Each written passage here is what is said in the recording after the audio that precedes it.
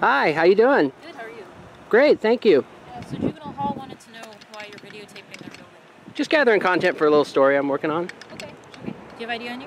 Uh, I prefer not to identify. You're required by law to give me your ID. Actually, unless I've been suspected of committing a crime, I'm You're not required to. You're filming a government building. Uh, from a public sidewalk, Right, that's which is perfectly legal. Right, I have the, right, to detain you, okay?